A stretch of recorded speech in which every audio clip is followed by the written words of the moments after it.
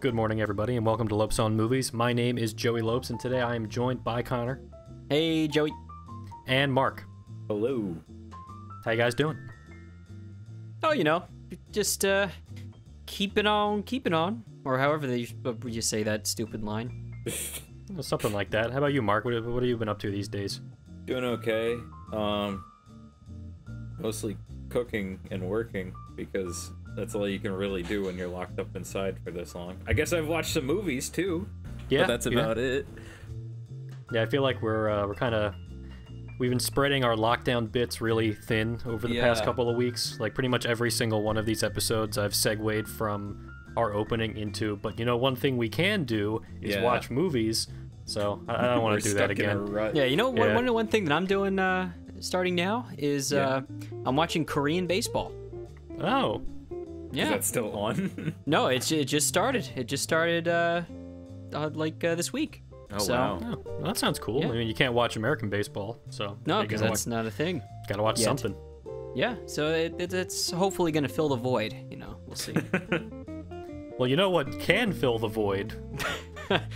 We just said we wouldn't do Uh, this. yeah, yeah. Well, I lied. Um, the one important thing that we have this week that we haven't had in the past couple of weeks is a little bit of movie news. I think it's uh, it's been a little while since we've we've talked about movie news, mostly because there hasn't been a lot of movie news because of you know the lockdown and everything being closed. But as we predicted a couple of episodes ago, uh, this lockdown situation is potentially having a serious ripple effect on the industry.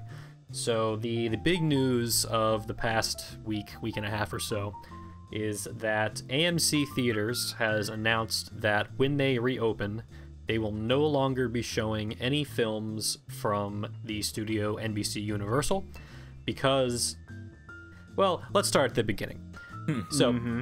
due to the closure of theaters, right, NBC Universal decided to test the waters of releasing their first run films on video on demand. And they hmm. started with their animated family film Trolls World Tour, which I'm sure all of us were super excited to watch as soon as it was available. Uh, well, Yeah, apparently there yeah. were because it, you know, Well, next part. Well, I mean, the I- kids are stuck at home. What are they gonna do? You got your like screaming little kids running around. you put on Trolls World, World Tour on loop. Yeah, so you can have another like cocktail in the corner on your own, so you can just get through the day. and you cause the death of the movie industry. So, Anyway. so before we get ahead of ourselves, boys, um, the uh, we, we we mentioned this as a possibility a couple of weeks ago, and how they there was a couple of other things like uh, Universal also ha- I believe had the uh, Invisible Man and The Hunt also came out on video on demand. So they're the first like major studio that has been really been trying this. Um, but the Trolls World, World Tour was the first one that didn't get any like theatrical release at all, and they just decided they're going to release it on video on demand. So apparently, it was a pretty big success, an unexpected success, as they said. And the CEO of NBC Universal, Jeff Shell, went as far as to say that they expect to release films in theaters and on demand even when theaters reopen. So they are just going to decide to potentially not even do anything about the theatrical window anymore. They're just going to do everything same day. Um, so that last proclamation is likely uh, the straw that broke the camel's back for AMC theaters, who released a statement that they would no longer play any of the films from Universal when they reopen. And AMC's CEO Adam Aron said that they would cut ties with any studio that was contemplating a wholesale change to the status quo. So th- th- there's there's trouble in paradise, guys. Yeah, he threw down the gauntlet Yeah, in an Yeah. open letter. He was Yeah. like, no, you're not doing this, and anybody who does, you're not going here either. Everybody's shut down. We're it, it kind of feels like they're shooting themselves in the foot more than anything. It's- But yeah. what are they gonna do? Like these are like they make most of their money off of the the snacks. Really, it's not about the tickets bringing things money wise, but you can't get anybody in your theater to eat your popcorn. right. You need a movie for them to go see. right. and one of the major studios saying that they're you know going to do this and th- then AMC saying we're not going to show any of your, of your movies Mhm. that's it, it's an interesting thing because it- Yeah, it, I kind of mean, hurts them yeah. both you know Yeah. but it, the question is who does it hurt more and I think that's ultimately what we have to what we have to figure out I mean my money is on the theaters losing out on this oh, overall but I think that like it, it, it depends, right?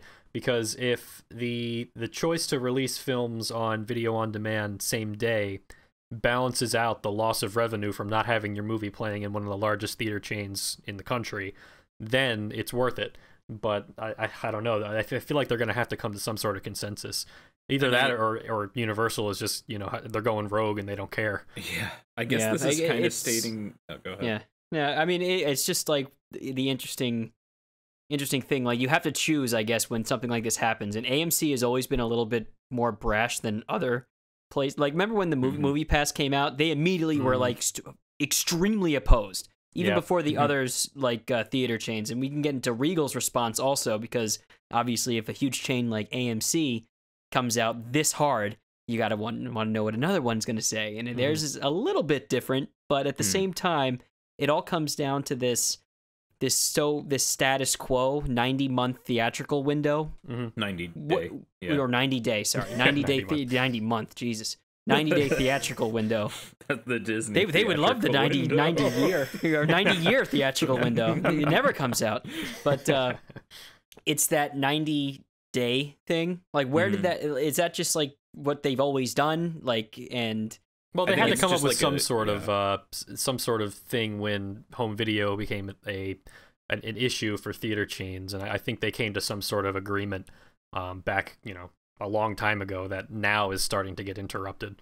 Right, but Mhm. clearly it was an agreement, like not like a Oh, yeah. contract. Like it was, you know, an agreement or like a, and, and you know, we're even gonna do in this. the past, like it's been broken before when movies bomb, just totally bomb, and they're out of theaters within a month. Then it's kind of a little more lax, but Mhm. to have it be more unilateral is just a no go. But in a way, it's kind of the theater admitting that they have nothing to offer except for the exclusivity of a new movie. It's it's Yeah. kind of sad. Yeah, in a way, that's kind of the uh, the unwritten unwritten thing there. I mean, they, like Universal said, oh, we're you know we're committed to the theatrical experience and everything, but I think the uh, the, the writing on the walls of the theatrical experience these days isn't isn't very good in Mm. the uh, in the big chains at least. So I think the uh, the lack of exclusivity could be a disaster for for any of these theaters. So I don't know. I, I really don't know who's going to come out on top here. I mean, like I said, I I would think that the the studios definitely have more leverage than the theaters, but I don't know. It's it's an interesting time. I guess we'll see what happens. You know, whenever lockdown is is over, when you know whenever that's going to be. yeah, and, Mhm. and just to for context, Regal's response was, it they're not going to just make a a full stop on no Universal films are not allowed to be played here, but they did say that they will continue to show films that respect that 90 day window. Mm, interesting. So, what is it going to be a pick and choose kind of thing? like, what does that mean? They're essentially saying the same thing, but not as like harshly, and they're not going to just say immediately nothing is allowed. But Yeah. it's going to be interesting too because the directors clearly want their stuff in, uh, like, to be seen on a theater screen. Oh, absolutely, yeah. It's meant for that, but do they have enough clout to, like, still make sure the theater experience is a thing? Like, I like I, so I, I anymore. can't. They have. Do they have anything but like No. some of these bigger guys like could you imagine christopher nolan has a movie that's going to be uh, that's supposed to be coming out this year that i guarantee he's not thrilled with the chance that it, his how's his movie going to get seen in theaters Mhm. given everything that's happening this year and then depending on what's going to happen to theaters in the future hmm i have to imagine directors are not going to take too well to the the possible collapse of Home this theater only, industry Yeah. yeah I mean, it's- I guess another like underlying question is how would theaters even compete with the home experience nowadays? Now that's what we're talking about. Like is there a way if this just becomes a thing for theaters to even compete?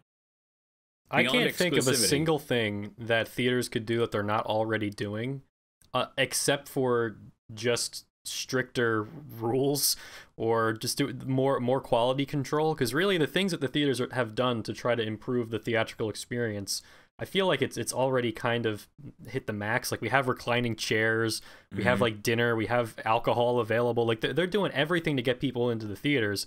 The thing that's not working is that often the experience just isn't very good. like the incorrect you know projection of the films. Um, th- things could be blurry, like the, the lens is out of focus. People uh, people talking. people talking on their phones, people y- you know lighting up the, the whole theater with their, their cell phones, and then people not doing anything about it. Like there's no Bringing a enforcement baby of any into the theater. Yeah. bringing a baby crazy. into the theater. I mean, like, like th- I I would say the vast majority, and I've said this all the time, of of uh, of theater experiences I've had in the past like years have been compromised in some ridiculous way. And Yeah. it's not like people can't react, obviously, but if you're sitting there on your phone, it's like a giant flashlight in the theater. It's a tremendous distraction, right? But and I, I don't know. So I I really don't know what theaters can do other than exclusivity to to make The things better, unless they start thing- really enforcing the rules. Yeah, I mean, aside from actually making the theater experience what they've advertised, this is an odd thing to say maybe, but it would be kind of cool and and I I think some areas do this, but to see more old movies that have gone played Mm. many many years ago, getting to see those on a theater screen. It's kind of it's kind of nice. Like, That could Yeah. be something, but the problem is there's no sustainability with that. yeah. You're not going mean, to get the young depends on the people. movie, to... but The thing that I'm worried about with all of this more than anything is because I don't really care if the theaters go away or not. Because the the experience, I, I'd rather see a movie on a theater screen, but the experience being so awful a lot of the time kind of is worse than the fact that I have to not see it that way. It's it's it's a weird situation, but what I'm worried about is that the money is just going to go away from movies eventually Yeah. as a Mhm. long term effect, and it's going to go more towards TV and or just the television style, and just it's going to really like hurt the the art form. I think It very So- well could. It very well Yeah. could.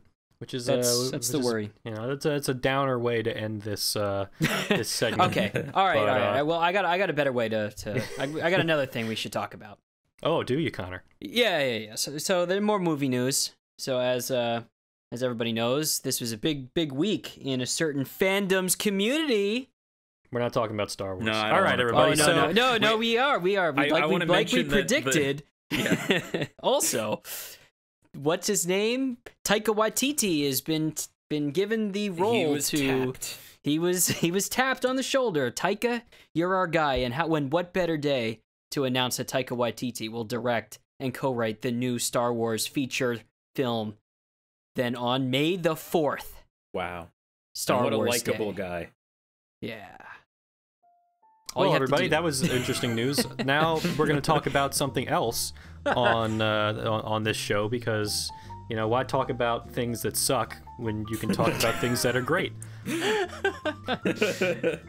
That's so everybody, we uh, we actually did watch a movie um, for for this episode. It's another another one of our Lopes on movie classics, we could say, um, but a slightly more recent one. We've been kind of delving into the the history of, of film a lot with our our previous episodes over the past couple of weeks.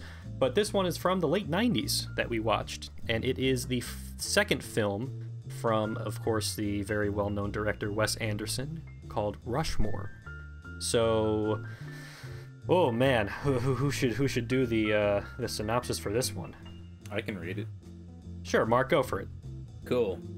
Rushmore is the story of an eccentric teenager ma- named Max Fischer, his wealthy industrialist friend Herman Blume, and the first grade teacher they both fall for, Rosemary Cross. It was directed by Wes Anderson in 1998 and stars Jason Schwartzman, Bill Murray, and Olivia Williams. And I guess Connor, would you like to talk a little bit? How did you feel about Rushmore? Yeah, sure. So uh, I think I picked out. Uh, I, I threw out a few Yes. ideas of, of people that we could, uh, you know, di- different directors and then certain movies. And I haven't seen Rushmore. I, I'm very familiar with Wes Anderson, but uh, I thought it would be a, a good fit to go to to to him him next. And uh, yeah, this is this is obviously great. Like eh, he's got like this is kind of before he he like developed that like that style, like the Mhm. It super doesn't style. like- have his all-in sort of Right, it's still feeling there, of his later movies, but it's Yeah. not like it's not so dialed in and it, Mhm. it's, it's really good and i i think it's kind of nice to actually see it like scaled back a little bit but you could see where he would he'd be going but you Mhm. know it's just a, it's an extremely nice story and i think it's also really cool that uh this is I guess this is part of Bill Murray's like I'm gonna just do independent movies phase because Mhm. he he started doing a lot of these, and I think this is definitely the first one he was in with with Wes Anderson, right? And I he's so good in it too. he- he- Yeah. he's fantastic, but like I guess around this time he did like he did Lost in Translation. Like I mean, maybe he just like got involved in this in, this independent scene, and like he just gave, gives these fantastic performances. I love what Wes Anderson does with with uh with young actors too, and Oh, like yeah. just just like over uh they, they, they kind of over intellectualizes them a lot of the time, and it's like fun to see them interact with like adults Yeah. as equals, which is like so fun. And this one is like Yeah. a great example of that. Uh, yeah, I mean, we can go into all sorts of ways, but maybe even go into Wes Anderson a bit before you we bring up delve in. oh yeah okay the the interesting thing that you brought up with the the the ages in this movie are so disparate and all of them interact like their peers it's very Yeah. Right, that's that's a that's a cool style that he's able to do. He does that with there's other things that he's done that in his uh, his different films too. Uh, Joey, how about uh, you Yeah. give us a little uh, little breakdown on on Wes Anderson, maybe? Sure, yeah, why not? Let's let's uh, let's do it. So uh, obviously, Wes Anderson is very very well known these days. He's one of the most well known independent film directors of, of our time, I think. Um, and as you mentioned, Connor, he's very well known for his his very like storybook kind of fairy tale approach to to his his films, and not just in like the writing and storytelling, but really in their production design. I Mhm. think like typically if you see a Wes Anderson movie, you're going to see something very like lavish and unusual, um, very very very highly stylized. Um, and if you've seen like some of his more recent movies, like you know Grand Budapest Hotel or Moonrise Kingdom, um, I think his most recent movie was Isle of Dogs, which was like a stop motion. oh yeah that one is Um, probably the most wes anderson wes anderson film Yeah, it's it's gotten to a point where his it's it's almost like a joke, like it's a Wes Anderson-y, it, you know, movie, right? Because his Mhm. style is so distinct and so obviously his. Um, but before all of that, before he was, you know, the the Wes Anderson we we know today, he was just a student at the University of Texas at Austin, where he met Owen Wilson and Luke Wilson. Actually, they they came up in the industry together, Oh and yep uh, ugh. Nice. Um, anyway, so yeah, so uh, originally Wes Anderson and Owen Wilson collaborated on a lot of the, the film projects that they were doing. So the first like feature that they wrote together was a movie called Bottle Rocket, which wasn't like a tremendous success when it came out, but it was it was seen by the right people and it was very critically loved. I, I think like Martin Scorsese said it was like one of his favorite movies of the '90s. Um, so just on the successes of that movie, he was able to get um, his second movie, Rushmore, made, which was also co-written with Owen Wilson. Um, and Rushmore again was not a huge financial success, but it was you know beloved critically and now has a pretty huge cult following.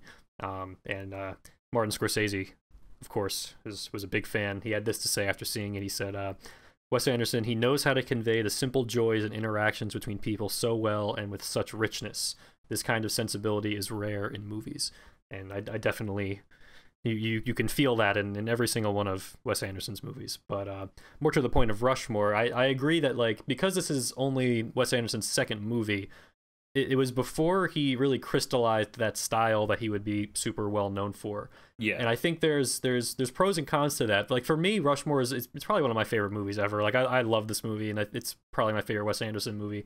And I think the thing that makes it resonate with me more so than some of his more recent movies, which I still love, but I think it's the the cool style that he developed is a little bit more like emotionally distant than what he did in Rushmore, which is like heightened but feels kind of it's almost like it's heightened in a nostalgic way. It's not really artificial. Like you you it feels grounded in some kind of reality even if it is kind of a heightened reality, which is different from his his later films which ask a lot of you and your suspension of disbelief for just it kind of buying yeah, into the, style. weirdness of the of Um, the the staging they feel Yeah. like stage plays which is Yes. a funny thing to say about this movie Yes, definitely, and and definitely like Rushmore has some some elements like that, but it still feels a little bit more grounded. And for that reason, I think the the characters and their dynamics come through a little bit more like in, in a more pronounced way because you're not like slightly distracted by the production. It's you Mhm. can kind of just dial into into the emotions that the movie kind of kind of communicates. And man, it's just the, the the characters are just so wonderful, and the the dynamics between them are are so interesting. Like you guys said, like how the characters all behave like they're equals.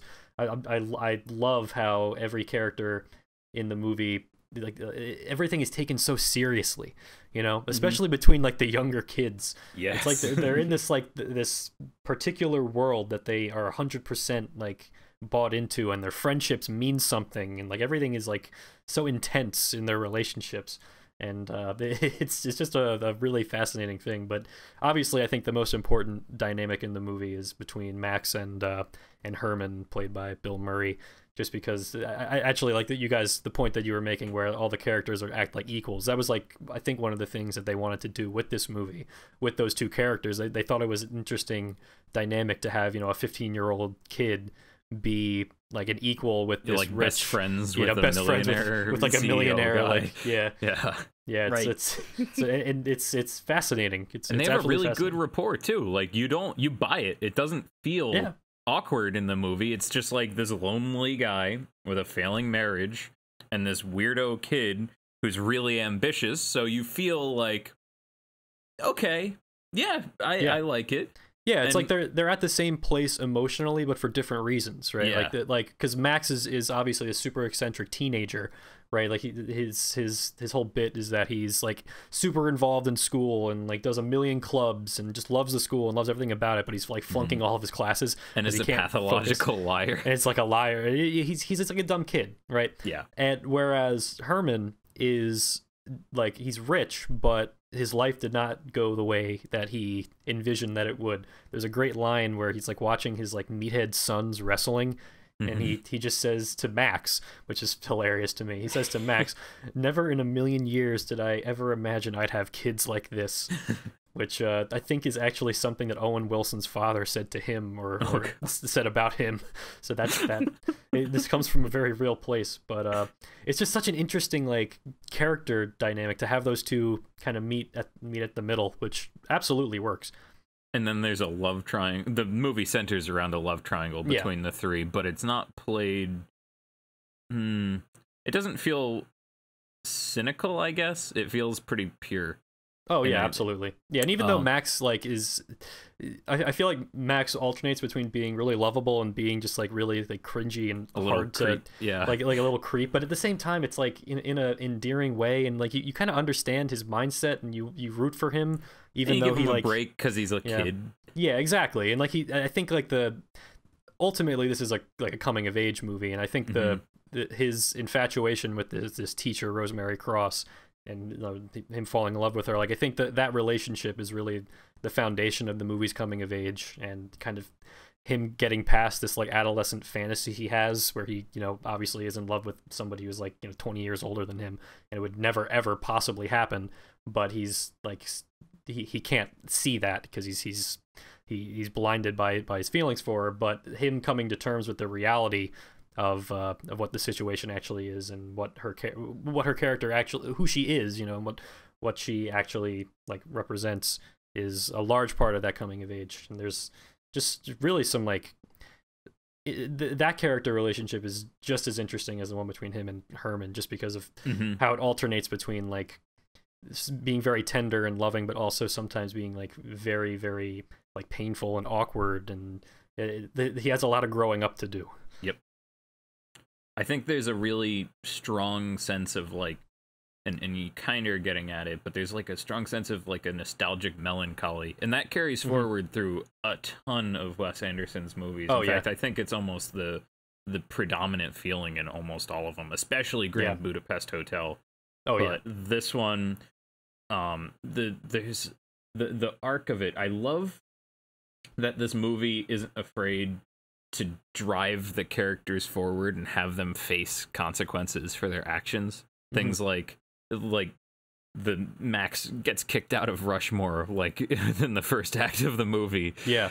And it kind of only plays a bit part going from that point forward but it's like a symbol of their um desire to make something of themselves i think and and do something with their lives but it's Their it's- way, it's- too. yeah it, it's it's separate from them like it's taken from them it, it, it's Yeah. not it's not what they imagine it to be hmm and I I don't know. I just love the the overall arc and and how like all these little touches like max almost immediately gets a couple of lackeys when he goes to his new school Yeah. um, and, and he's like he didn't change and and you you're almost worried for a moment that he's going to to face reality at that point and become like you know a laughing stock because he's a weirdo but no he just keeps on trucking he's Yeah. like he's the guy and it's great Yeah, And- like and- even, even though he's he, th- there's a lot of learning he has to do. Mhm. He even even Herman sees it immediately. He's like, you know, you seem to have it all figured out, Max.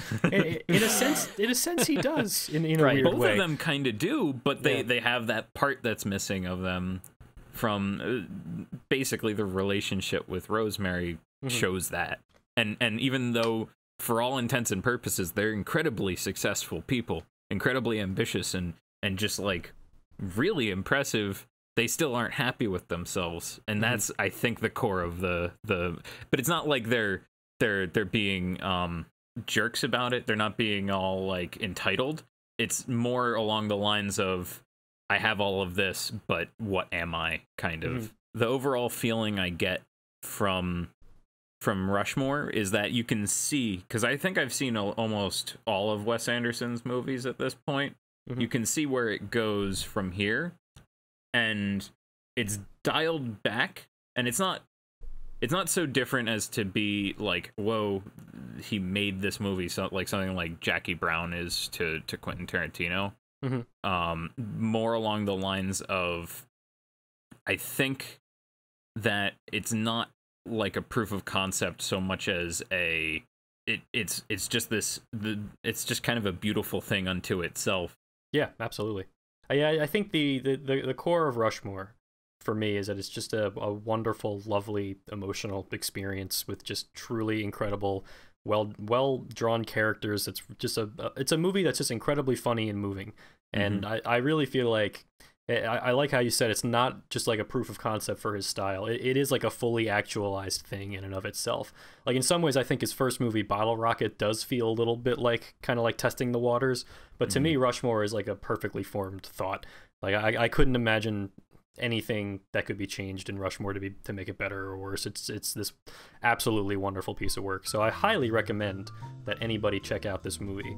Um, and of course, uh, just one one last point: if you like you know British invasion rock and roll, you will Yes. uh, you, you will like Rushmore a lot. The soundtrack is just covered in it. Yeah, it's it's it's uh, there's something so warm and nostalgic about about that music. But uh, maybe that's just because I love that music growing up. He does it a lot better than many other filmmakers did He does. or do.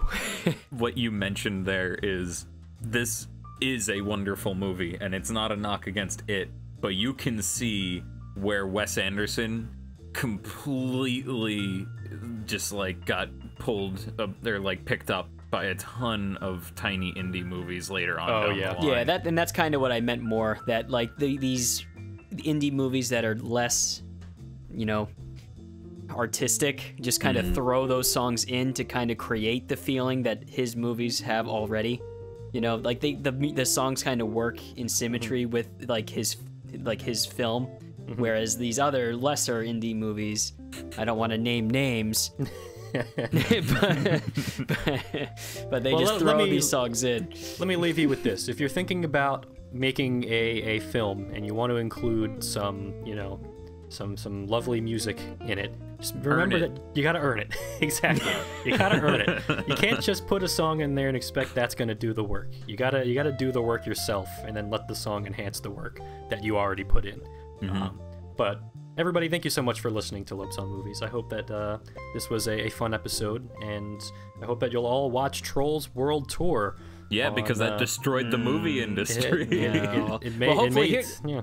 Can I just say like why I, I thought Wes Anderson because he's he's got another uh, another another movie that's supposed to come out this year called The French yeah? Dispatch, and uh, you know I thought it would be nice to kind of see a Wes Anderson movie after I saw the trailer. It looks another like another That would great be one, but. I'm just I'm just uh, wondering now like will this theater thing like Yeah. prevent it from coming out? Now it says expected like in October, but hopefully i mean let's geez go watch all of wes anderson's movies he hasn't made any bad stuff he's great It's true. All right, everybody, have a lovely morning. We will see you next week.